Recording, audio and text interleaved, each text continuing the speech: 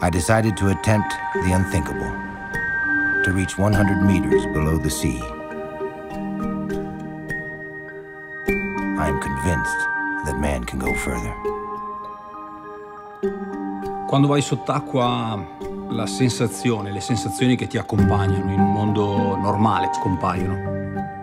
There's this connection between the breath and time, and that's suspended when you're holding a breath.